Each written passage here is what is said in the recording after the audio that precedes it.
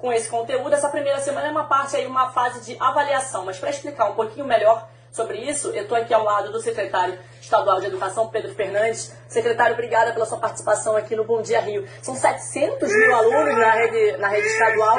Como é que esses alunos podem fazer para entrar nessa plataforma, acessar? Explica um pouquinho para a gente.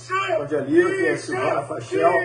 Então, esse, esse link foi disponibilizado. A gente vai interromper um pouco. O secretário já vai falar que eu queria pedir desculpas para vocês por, uh, por essa interrupção. Uh, não sei se a Lívia pode uh, pedir para o secretário aguardar um pouquinho. A gente, a gente daqui a pouco volta a falar. É, a gente pede desculpas, a gente lamenta, mas enfim. E a gente está tentando fazer o nosso trabalho ali na rua.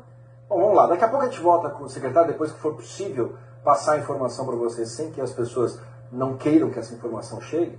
É, vamos falar de outra